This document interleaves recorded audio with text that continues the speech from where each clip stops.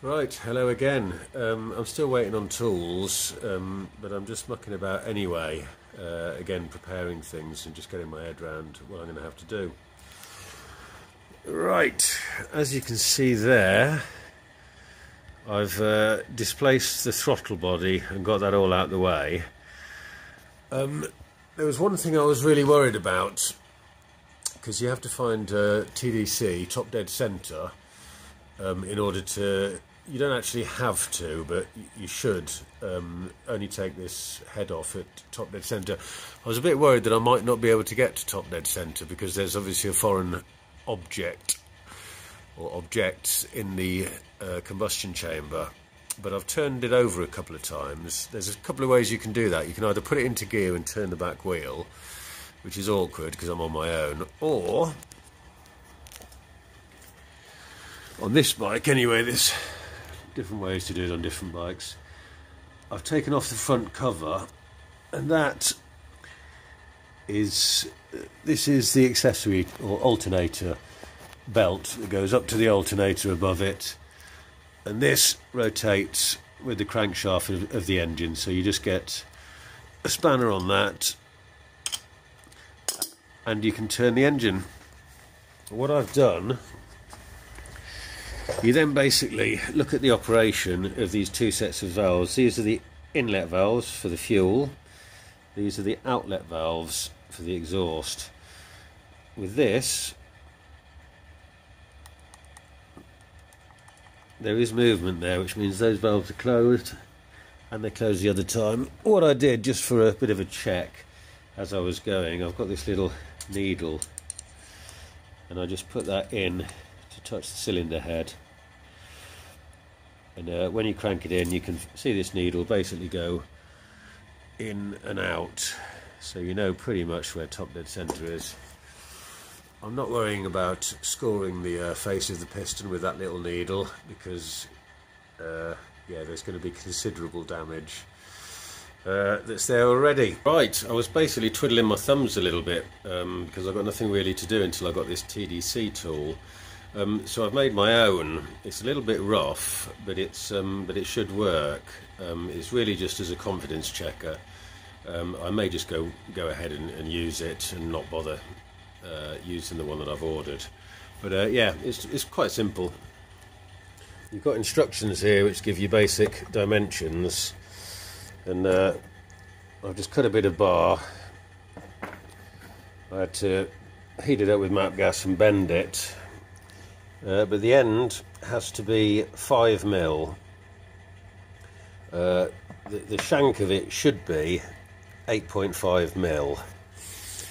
Uh, this is about uh, 6.8 or 7 mil shank, but that shouldn't make any difference. It'll still pass through the clutch, which is what it's supposed to do, and the end will hopefully locate into the TDC hole. So um, I'm going to see how that goes.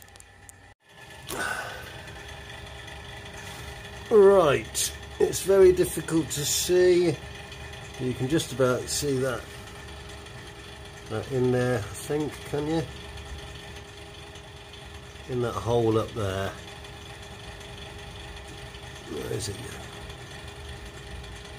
Yeah, you can just about see that. Yeah, the tool I've just made works fine. I've checked the crank at the front of the engine and it doesn't move. Okay, so um, uh, it's locked, it's totally locked. So um, I'm just going to crack on now. Right, I've now got the cylinder head off. Uh, check this out. That is the cylinder head. There is obviously some, you can see here, move this a little bit. You can see there, that's one of the exhaust valves has obviously been broken off. The other ones are supposed to be fully closed now. I can feel from the rockers that they are closed, but they're badly seated. So that needs a bit of work, but that is uh, reusable. I'll obviously clean it up, Dremel down any burrs, but that'll have to be rebuilt, probably with, I mean, I may as well just put in all new uh, valves now that I'm here. Uh, the cylinder itself.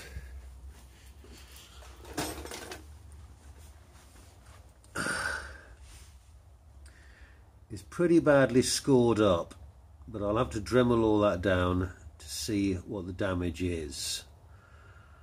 Um, but it may may need a new piston. I'll have to have a look at that.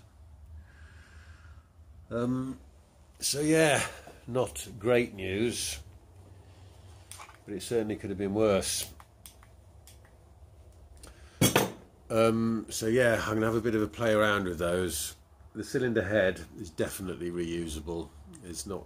There's no question about that. But it'll it'll involve a, a rebuild of all the uh, the valve, well, replacement and, uh, and rebuild of all the um, all the valves, which I'm not too fussed about. That's um, you know I can I can sort that out.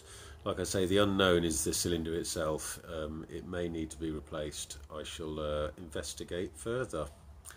But uh, yeah, at least I know the uh, I know the score now. I know the damage. Right, here you go. These two fastenings were holding in the uh, cam chain breather hose. They're both holding in the same uh, bit of, you know, the, the flange for the breather hose. They're about three inches apart on the outside of the engine. As you can see, one of them looks brand new. The other one I had some trouble getting out. It was almost completely oxidised.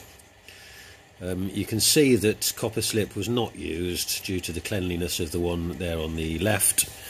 Another year, perhaps, and I would never have got the one on the right out. It came out with loads of powdered oxidization. It's rusty.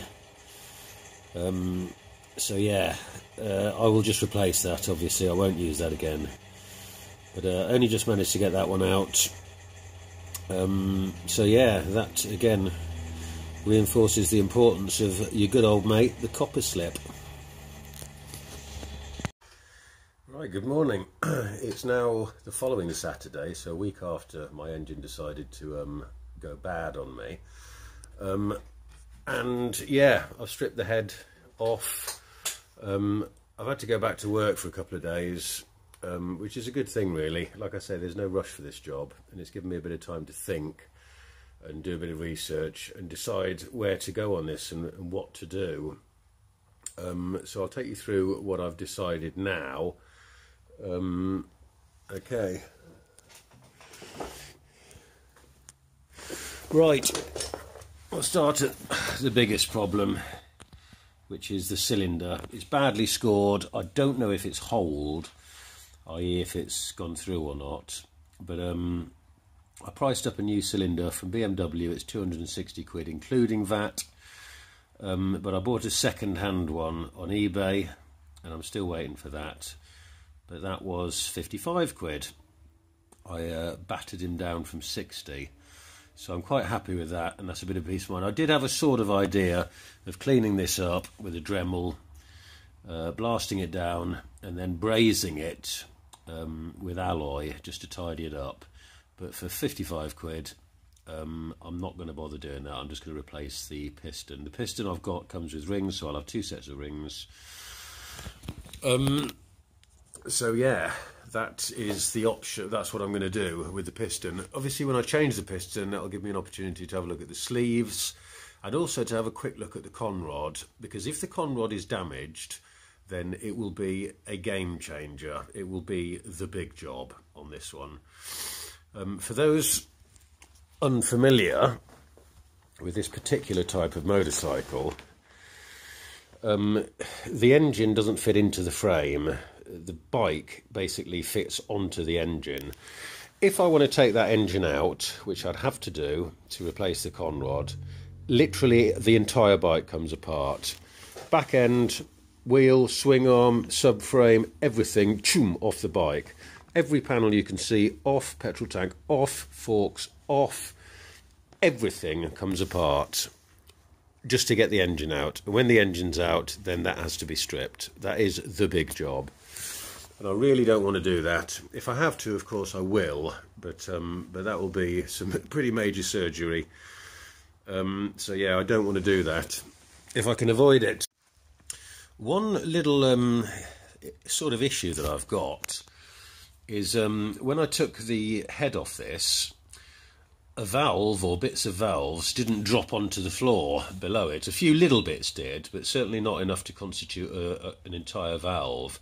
So basically, the valve has disappeared. I thought for a horrifying moment that it had gone into here, which is now covered with a rag, um, as is the tensioner uh, sort of um, hole there.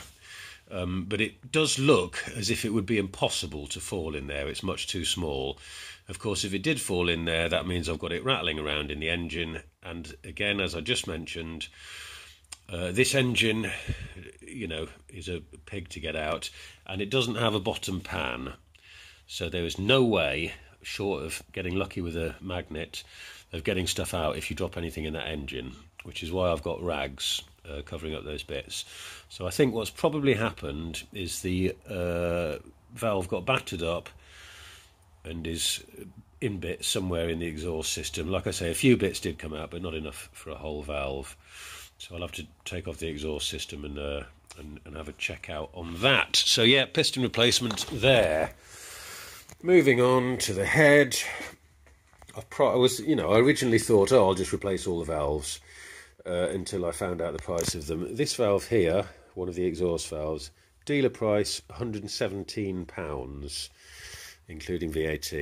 I've managed to buy a spare one, sorry, a second-hand one on uh, Motorworks, which is a, a pretty good online parts supplier, which I've used before. So I've bought one of those. These heads are going to be completely rebuilt. I'll strip them down completely. I'll clean up uh, the whole thing, clean up the valves, reseat them, uh, just basically do a total rebuild on that and on the other head. I'm going to complete that one first, get it back on, you know, all finished, and then I'll basically do a job on that. Obviously, with that, I won't have to remove. Uh, oh, sorry, I won't be touching the piston. Yeah, I don't see any reason for that. So um, that is my plan. Basically, a complete head rebuild on both of them. Uh, so yeah, um, I'm still waiting on on bits basically, piston and valve. So I can't really do anything for the time being. Um, so yeah, that's just a little bit of an update. Uh, I'm gonna have I'm gonna strip the take the exhaust off now and see if I can find uh, my missing valve. Right, it is time for a brew and a woohoo!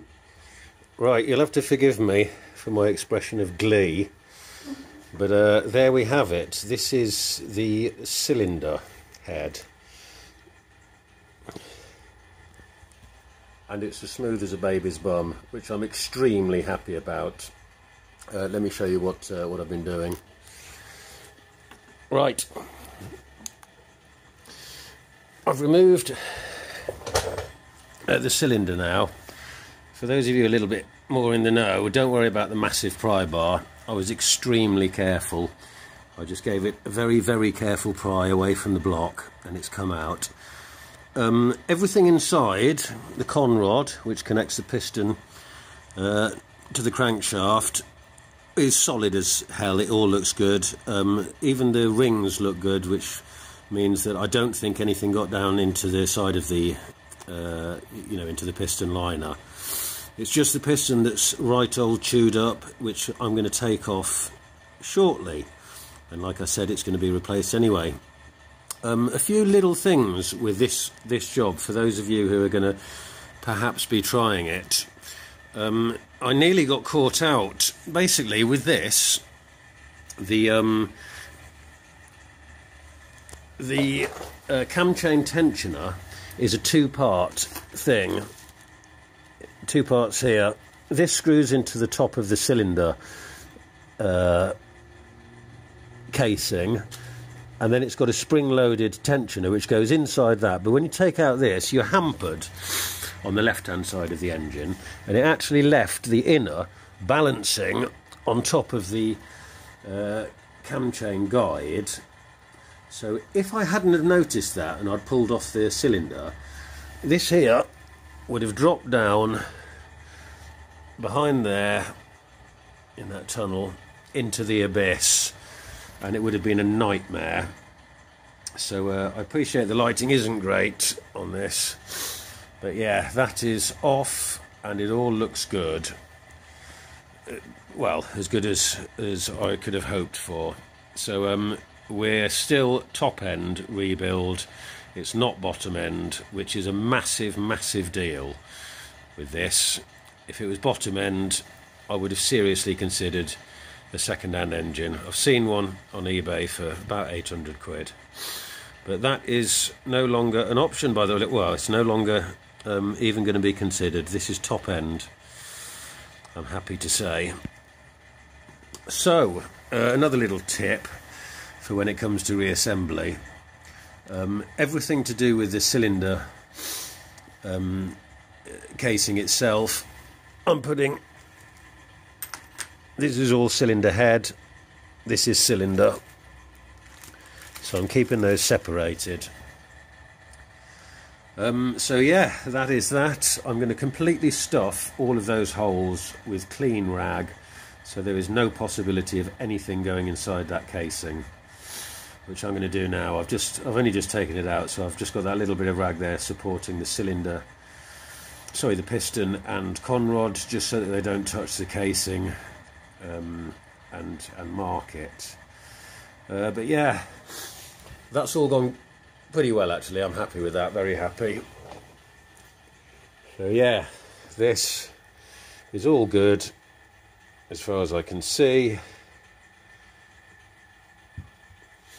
Um, it just needs to be cleaned up and have new gaskets, etc. So, um, yeah, I'm very happy with that.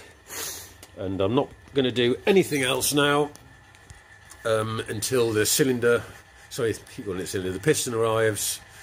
I might remove that other piston, but I probably won't. I'll just leave it there because at least that way I know it's nice and safe and nothing's going to fall into that uh, casing. So until my um, parts arrive, uh, piston and valve. That's me pretty much done now, and it's uh, this part two can end on that happy note. So that's part two out of the way. I've got to do a little bit of work on one of my other bikes now. That little C90, the blue. I'm having uh, some chain length issues on it, so I've got a slightly small, smaller sprocket, rear sprocket. So I'm going to muck around with that now and do another few little jobs I've got going on at the moment. So yeah, uh, thanks for watching again, and I shall see you all in part three, where this saga will continue. I shall see you later. Goodbye.